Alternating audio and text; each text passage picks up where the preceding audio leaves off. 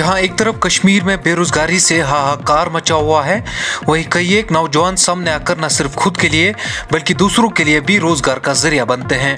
आज कुपवाड़ा में अपनी नवेद का पहला new being touch mobile and electronics showroom का इब्तदा किया गया। इस मौके पर मुख्तलिफ़ शोबों से वाबस्ता लोगों ने शिरकत की। शोरूम पर मोबाइल फ़ोन के अलावा मोबाइल एसेसरीज, डिस्प्ले और रिपेयर की खिदमत मुनासिब कीमतों पर दस्तियाब रहेगा।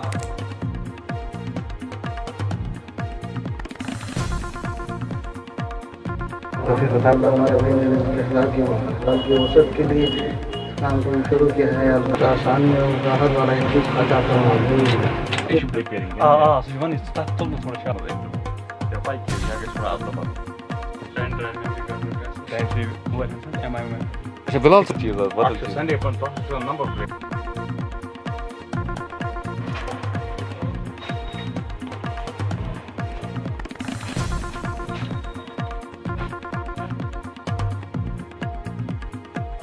बोलिए सर।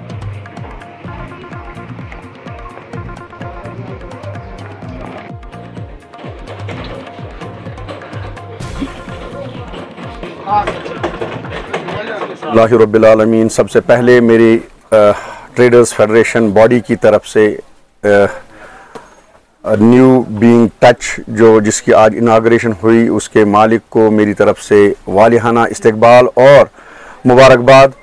अ, मैं समझता हूँ कि आज के दौर में ये वेंचर्स खड़ा करना मुश्किल भी है और दुश्वारियाँ भी सामने आ रही हैं क्योंकि फाइनेंशियल रिसेशन जो चल रहा है लेकिन फिर भी हमारे नौजवानों ने अ, अ, हिम्मत नहीं हारी है नाकामी उनके सामने नहीं आ रही है वो अपने जो शॉप्स हैं अच्छी तरीके से इस्टेब्लिश कर रहे हैं, जिनसे लोगों को, यहाँ के लोगों को, खासकर कुपवाड़ा के लोगों को फ़ायदा मिल रहा है। उनको श्रीनगर, बारामूला या दूसरी जगहों पे जाने की ज़रूरत नहीं पड़ती है।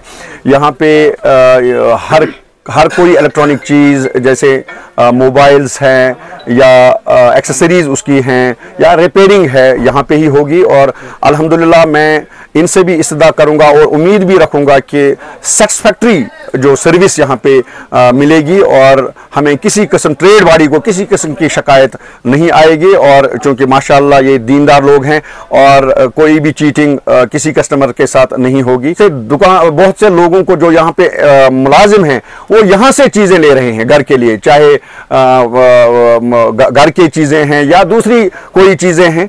आ, ये हमारे लिए फ़ख्र की बात है। इसमें कोई शक नहीं हर लिहाज से हर लिहाज से आप उनसे भी जो हमारे व्यापारी लोग हैं उनसे आप दरियाफ्त कर सकते हैं कि वो वो सिर्फ़ कुपवाड़ा का चक्कर लगा रहे हैं, सिर्फ़ कुपवाड़ा का चक्कर लगा रहे हैं क्योंकि ये यहाँ पे अच्छी खासी बिज़नेस है और मैं तमाम हजरात से यही कहूँगा कि अपनी बिज़नेस को साफ़ सुथरा रखें ताकि खुदा भी खुश और लोग भी खुश।